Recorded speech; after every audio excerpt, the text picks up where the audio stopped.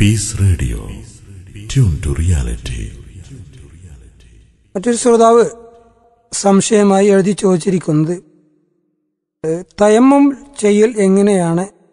എവിടെ ചെയ്യും? അതിന്റെ വിശദരൂപം എങ്ങനെയാണ് അത് ചെയ്യേണ്ടത് എന്നൊന്ന് പറഞ്ഞു തരാമോ എന്നാണ് അദ്ദേഹം ആവശ്യപ്പെടുന്നത്. തയമ്മും ഉദ്ദേശിക്കുക എന്നാണ് ആ വാക്കിന്റെ അർത്ഥം. വെള്ളം കിട്ടാത്ത വേളയിൽ ഉദു ഉദുവിന് പകരമായി കുളിക്ക് പകരമായി ഉള്ള ഒരു ബദൽ സംവിധാനമാണ് തയമ്മും. ഒരാൾക്ക് കുളി നിർബന്ധമായി അല്ലെ ഉദു നിർബന്ധമായി. ഒന്നുകിൽ അയാൾക്ക് വെള്ളം തീരെ കിട്ടിയില്ല ലഭിച്ചില്ല. അല്ലെങ്കിൽ അയാൾക്ക് വെള്ളം ഉപയോഗിക്കാൻ കഴിയില്ല. അല്ലെങ്കിൽ അല്പം വെള്ളം മാത്രമേ ഉള്ളൂ അത് ഉപയോഗിച്ച് ഉതുവിനോ കുളിക്കോ ഉപയോഗിച്ചു കഴിഞ്ഞാൽ പിന്നീട് കുടിക്കുവാനും മറ്റും വെള്ളം ലഭിക്കാത്തൊരവസ്ഥ വരും. ഇങ്ങനെ ഉള്ള അവസ്ഥയിൽ കുളിക്ക് പകരമായി ഉദുവിന് പകരമായി തയമം ചെയ്യാവുന്നതാണ്.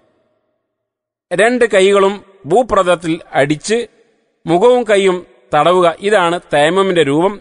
കൈ പടങ്ങളാണ് തടവേണ്ടത്. കൈ പരിപൂർണമായി അഥവാ നെരിയാണി ഉൾപ്പെടെ തടവേണ്ടതില്ല. കൈ പടങ്ങൾ തടവുക. ഇതാണ് തേമമിന്റെ രൂപം. ആ വേളയിൽ കാലുകൾ കഴുകുകയോ കാൽ പ്രത്യേകിച്ച് തടവുകയോ ചെയ്യേണ്ടതില്ല. കുളിക്ക് പകരമായും തയമം ഉപയോഗിക്കാവുന്നതാണ്. ഉദുവിന് പകരമായി തയമ്മം ഉപയോഗിക്കുന്നത് പോലെ തന്നെ.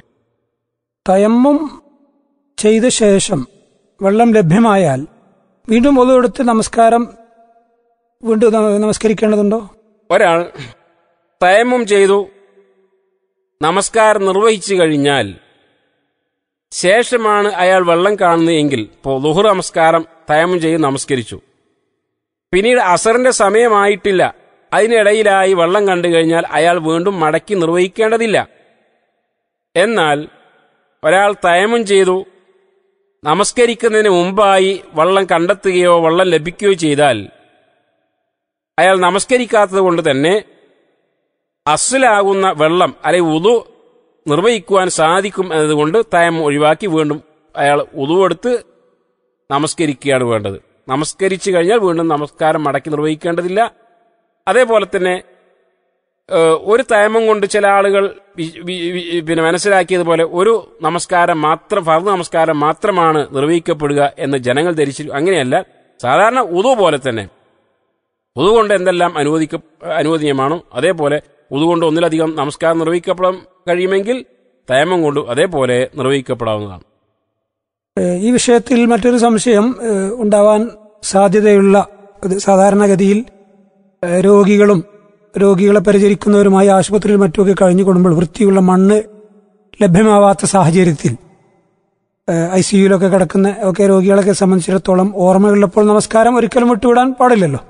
ഈ അവസ്ഥയിൽ ഈ രോഗി എന്ത് നില എന്താണ് സ്വീകരിക്കുക? മണ്ണ് ലഭ്യമല്ല ആശുപത്രിയിലെ ഐ സിയുയിലേക്ക് മണ്ണ് കടത്തിവിടാൻ ആശുപത്രി അധികൃതർ സമ്മതിക്കുകയുമില്ല. നമസ്കാരം ഉപേക്ഷിക്കാനൊന്നും വൃത്തിയില്ല ഇത്തരം സാഹചര്യങ്ങളിൽ അത്തരം രോഗികൾ എന്ത് ചെയ്യണം എന്നാണ് നമുക്ക് അത്തരം ആളുകളോട് പറയാനുള്ളത്. വിശുദ്ധ ഖുർആൻ പറഞ്ഞു ഫതയമ്മമു സഈദം തയ്യിബ ശുദ്ധമായ ഭൂപ്രതലം നിങ്ങൾ തേടിക്കൊള്ളുക എന്നാണ്.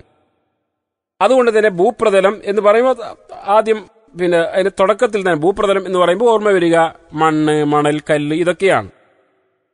ഇതൊരാൾക്ക് ലഭിച്ചില്ല എങ്കിൽ പ്രത്യേകിച്ച് നിങ്ങൾ സൂചിപ്പിച്ചതുപോലെ ഒരാൾ ഐ സിയുയിൽ കിടക്കുകയാണ് ഹോസ്പിറ്റലിൽ കിടക്കുകയാണ് അല്ലെങ്കിൽ എണീക്കാൻ കഴിയാത്ത മറ്റവസ്ഥയാണ് പരിചരിക്കാൻ ആരും ഇല്ല എങ്കിൽ സ്വാഭാവികമായും അയാൾക്ക് മണ്ണും ഇതിപ്പോ കല്ല് മണൽ ഇതൊന്നും ലഭിക്കുകയില്ല. അതുകൊണ്ട് അയാളെ സംബന്ധിച്ചിടത്തോളം തൊട്ടടുത്ത് എന്താണോ ഭൂപ്രതലമായുള്ളത് ചുമരായിരിക്കാം. അല്ലെങ്കിൽ എന്താണോ തൊട്ടടുത്തുള്ളത് അവയിൽ സ്പർശിച്ചുകൊണ്ട് ഇങ്ങനെ ഒരു അവസ്ഥയിൽ അയാൾക്ക് തയമം ചെയ്യാവുന്നതാണ്.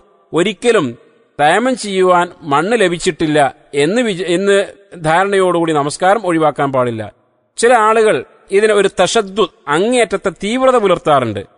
നായ തൊടാത്ത മണ്ണ് തന്നെയായിരിക്കണം എന്ന് വിശ്വസിച്ച് കിണറിന്റെ അടിയിലേക്ക് ആരെയെങ്കിലും ഇറക്കി അവിടെ നിന്ന് മണ്ണ് കൊണ്ടുവരുന്ന ഒരു സമ്പ്രദായം. ഇതൊന്നും ഇസ്ലാം നിർദ്ദേശിച്ചിട്ടില്ല എന്ന് പ്രത്യേകിച്ച് അറിയേണ്ടതുണ്ട്. ദാഹിച്ചു വലഞ്ഞവർക്ക് ഒരൽപ്പം കുടിനീര് കിട്ടിയതുപോലെയാണ് വിശ്വാസികളുടെ സംശയങ്ങൾക്ക് പ്രാമാണികമായ ഒരു മറുപടി ലഭിക്കുമ്പോൾ താങ്കൾ ഇപ്പോൾ കേട്ടത് മലയാളികൾക്കിടയിൽ നന്മയുടെ പ്രകാശം വിതറി മുന്നോട്ടു പോകുന്ന പീസ് റേഡിയോ എന്ന ഇന്റർനെറ്റ് റേഡിയോയിലെ അൽ ഇജാബ സംശയ നിവാരണം എന്ന പരിപാടിയിൽ നിന്നാണ്.